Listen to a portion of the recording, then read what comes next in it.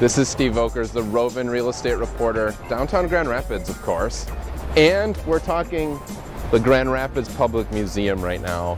What a beautiful location. I've been there many times. Weddings, graduation, events can easily happen there, but if not, what's the museum for? It's for roving and exploring, of course. Go check it out. There's always new exhibits, there's always stuff to do. Kids love to see stuff. And of course, they've got information on furniture because that's what Grand Rapids was built on back in the day furniture. Check out the furniture exhibit when you're at the Grand Rapids Public Museum.